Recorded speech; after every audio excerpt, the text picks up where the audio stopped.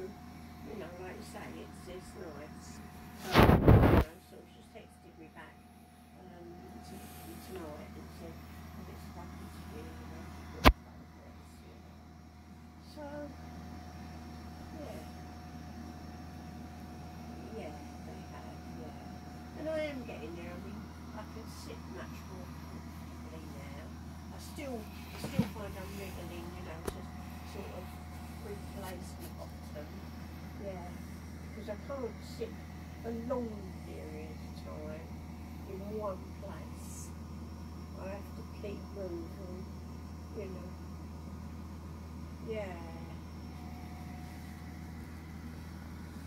It was hard in hospital you know those big chairs they have beside the